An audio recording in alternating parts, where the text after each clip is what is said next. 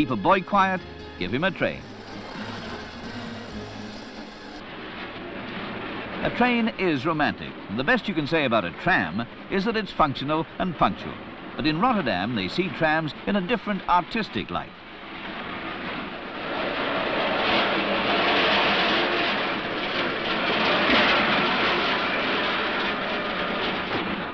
Locals have adjusted, but to visitors, the painted ladies of Rotterdam's tramways take some getting used to.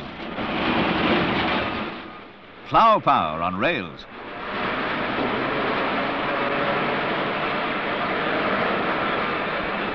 The artists are all citizens of Rotterdam. The trams are painted in the workshop of the Rotterdam Electric Tram Society and then let loose on the public. All that's needed is imagination from everyone.